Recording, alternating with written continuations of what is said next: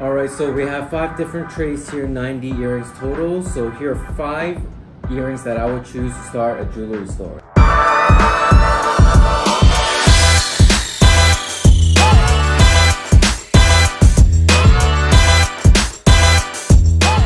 The first one is 0.20 total solitaire stud earrings.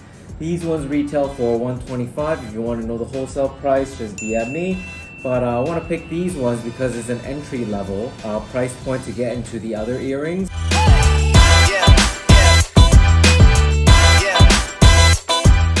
Uh, the other three that I chose are these hearts right over here.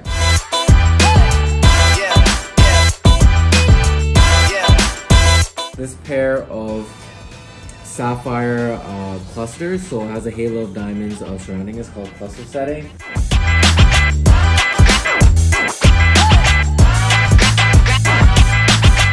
Other one are these in and out hoops. So in and out hoops means it has uh, diamonds on the inside of the hoop and the outside of the hoop.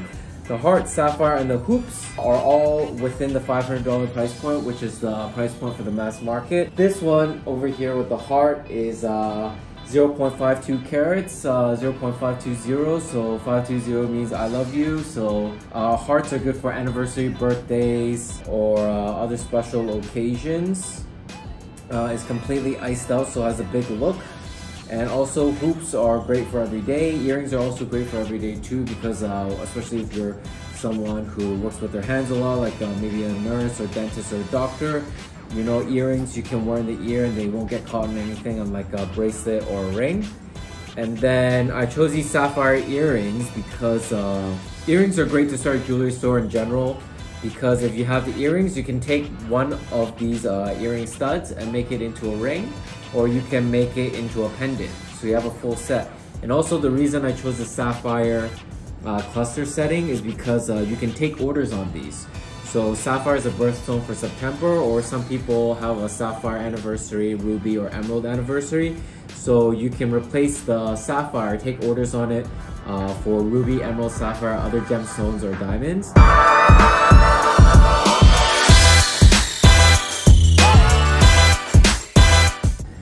And then last but not least, we have uh, this 1.36 carat dangling earring. So it has some baguettes in the middle.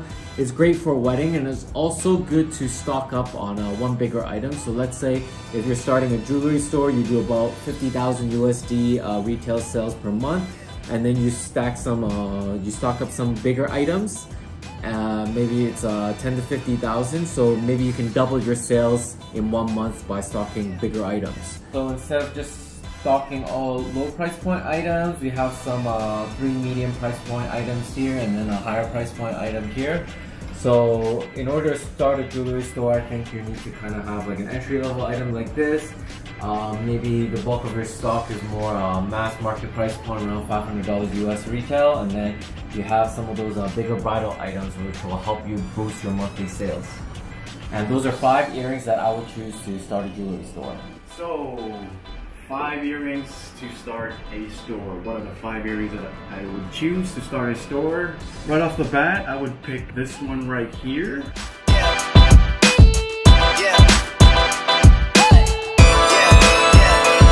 Because I like I like topaz, so that's a no-brainer for me, so I would pick that.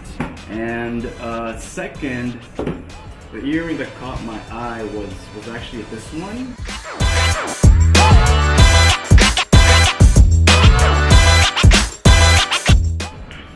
This big circle one because I don't know, it just it just looks like it has a lot of diamonds in it. So right away that, that caught my eye compared to this one right here. This one has like two layers of like diamond, circle, circular diamond. Diamond halo. The third one would be this one right here.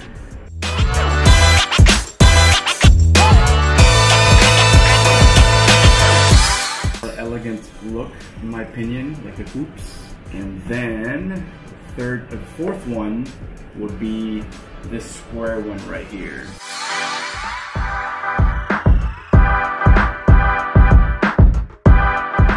So the same reason as the, uh, the, the circular halo one, but this one is square and I think this really looks really really nice.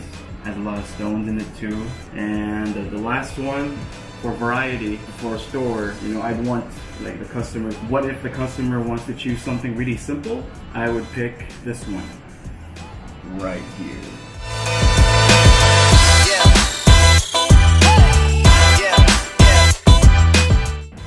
The small one, right?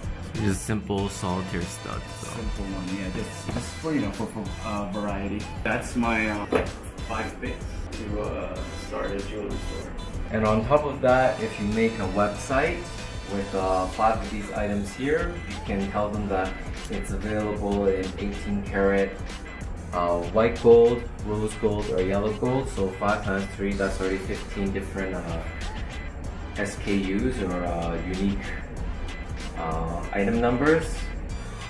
And on top of that, if you make it into a pendant or a ring, so you add three more items, so you have uh, 45 different SKUs already to start your jewelry store. So that's how you can start a jewelry store with just five different earrings.